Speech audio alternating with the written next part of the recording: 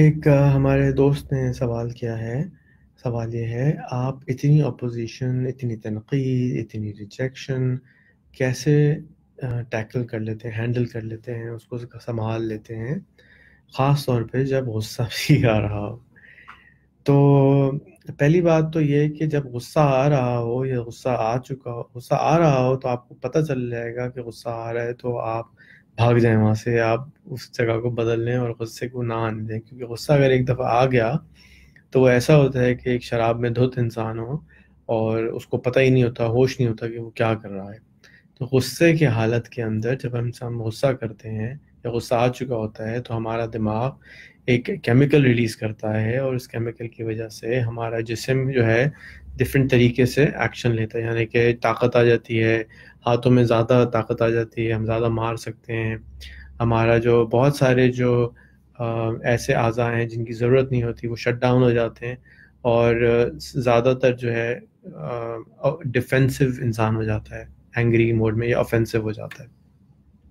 تو جب غصہ آ رہا ہو تو سب سے پہلے تو کچھ نہ کریں۔ کوشش کریں کہ وہاں سے بھاگ جائیں، اس سچویشن سے باہر نکل آئیں جتنے جلدی ہو سکے۔ اور پچیس منٹ، ایک گھنٹہ دیں، اس کے بعد آپ اس چیز کو ہینڈل کریں۔ آپ کو بہت دل چاہے گا کہ نہیں، اس نے ایسا کیا ہے، مجھے ابھی جواب دینا ہے۔ پلیز غصے کی حالت میں کچھ نہ کریں۔ معافی مانگ لیں، آدھا گھنٹہ، ایک گھنٹہ مانگ لیں، اس کے بعد آپ کچھ کریں۔ ضرور ضرور ضرور یہ کریں۔ نہیں تو بہت گڑبڑ ہو جائے گی۔ کیونکہ ہر آدمی جو ہے نا، اس کے اندر کوئی اچھی بات بھی ہوتی ہے، کوئی خراب بات بھی ہوتی ہے۔ مجھ میں بہت ساری خراب باتیں ہیں۔ ایک دو اچھی باتیں بھی ہیں۔ تو جب کسی پہ غصہ آ رہا ہو تو کیا کرنا ہے؟ کچھ نہیں کرنا ہے۔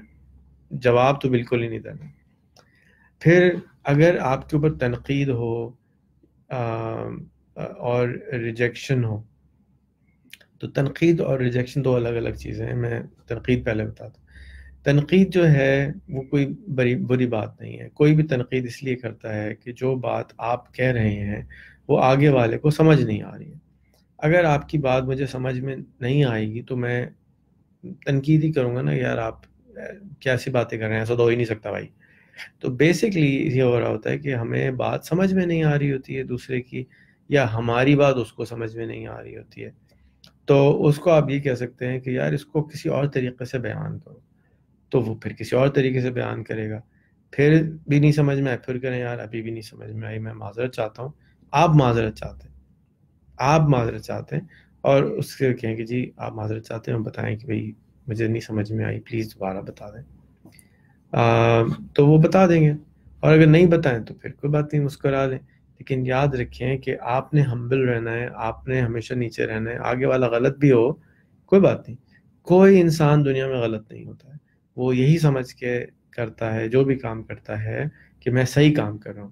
کوئی ہندو ہو، کوئی مسلمان ہو، کوئی کرسچن ہو، کوئی یہودی ہو، وہ یہ کام اس لیے نہیں کرتا کہ وہ یہ سمجھتا ہے کہ آپ غلط ہیں۔ وہ اس کو پیدائش جس جگہ پہ ہوتی ہے اس کی، جو اس نے سنا ہوتا ہے جس نے پڑھا ہوتا ہے، اس کی بیسس کے اوپر وہ آگے بڑھ جاتا ہے۔ میں اردو بول رہا ہوں جاپانی نہیں بول رہا کیونکہ میرے چاروں طرف لوگ اردو بولتے ہیں، تو میرا کیریکٹر اردو بولنے والا کا ہو گیا۔ اگر میں پنجاب میں رہ رہا ہوتا تو پنجابی بولتا، اگر میں کے پی کے میں رہ رہا ہوتا تو پشتو بولتا، میں جاپان میں رہ رہا ہوتا تو جاپانی بولتا۔ تو اسی طریقے سے اگر میں کسی ہندو کے گھر میں پیدا ہوتا تو ہندو ہوتا، کسی یہودی کے گھر میں پیدا ہوتا تو یہودی ہوتا۔ اب اس میں میرا کیا قصور؟ میں وہاں پیدا ہو گیا تو اب میں جیسا جہاں پیدا ہوا اب وہیں پہنچ گیا۔ اپارچونیٹی یہ ہے کہ ہم ایسے ٹائم میں رہ رہے ہیں جہاں پہ ہمارے پاس زیادہ اپارچونیٹی ہوتی ہے ایسے لوگوں سے ملاقات کرنے کی انٹرنیٹ پہ خاص طور پہ جو ہم جیسے نہیں ہیں۔ تو جب ہم جیسے ہم ہم ان کو ڈھونڈ کے نکالیں اور اپنا پیغام ان تک سمجھانے کی کوشش کریں۔ تو اس کے لیے زبان پہ عبور بھی آنا ضروری ہے، الفاظ پہ عبور آنا بھی ضروری ہے، بات کو سمجھانا آنا بھی ضروری ہے۔ کیونکہ بہت سارے لوگ بات کو اپنی سمجھا ہی نہیں پاتے کیونکہ ان کے اندر ڈر اور خوف ہوتا ہے جھجک ہوتی ہے۔ یہ تینوں چیزیں جو ہیں، یہ رشتے دار ہیں آپس میں۔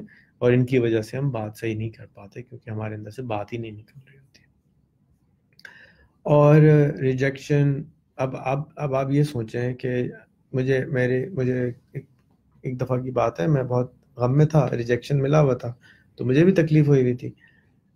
تو میں نے ایک کسی سے پوچھا تو انہوں نے کہا کہ یہ تو کوئی بھی بات نہیں ہے، آپ اپنے نبیوں کو یاد کریں کہ وہ سینکڑوں سال سر حضرت نو کا واقعہ لے لیتے ہیں کہ ساڑھے نو سو سال تک وہ تبلیغ کرتے رہے اور آخر میں ان کی بیگم تک کہتے ہیں یا ان کے بچے ان کے ساتھ تک نہیں تھے۔ حضور صلی اللہ علیہ وسلم کو لے لیں۔ کتنے لوگوں نے ان کے ساتھ کیا کیا زیادتیاں کی؟ تو یہ تو اتنے بڑے بڑے لوگ تھے، ان کو ریجیکشن ملتا ہے تو ہم کس کھیت کی مولی تو بس جب آپ یہ سوچ لیں گے کہ ریجیکشن کوئی چیز نہیں ہوتی، وہ بندہ جو کہہ رہا ہے وہ بالکل ٹھیک کہہ رہا ہے، اس کو یہ صحیح لگتا ہے اسی لیے تو وہ کہہ رہا ہے۔ اگر اس کو غلط لگتا ہوتا تو وہ یہ کہتا ہی نہیں۔